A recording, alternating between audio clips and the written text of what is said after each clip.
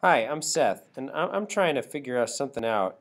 Uh, I'm trying to uh, figure out how to make like a digital puppet show. I want to be able to use some kind of program that's a lot less clunky than this one. I'm in Keynote right now, but I want to be able to have my kids, you know, take out little pictures, put them in a backdrop, and have them move around, and maybe even interact with each other would be really cool. Just like a just having pictures and making a puppet show and having them mo moving around. This is the best I can find here, but it's a little clunky. Um, so I'm wondering if you have any suggestions.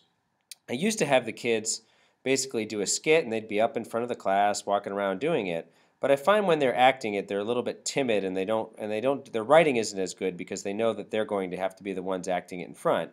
So i am trying to find an idea of, of uh, where they can take pictures from the internet be able to act out. Uh, this is actually for an immigration project. They're representing a particular immigrant group, and they learn all about it. And then these immigrant groups uh, should be teaching us all about it. But I'd love to be able to have them work like this. I don't want them to have to have them draw. I don't want to have a, a, a camera attached. I want something that they can just have in their uh, computers and be able to do a screencast. Uh, something very quick and easy to use. If you have any suggestions, I'd really appreciate it.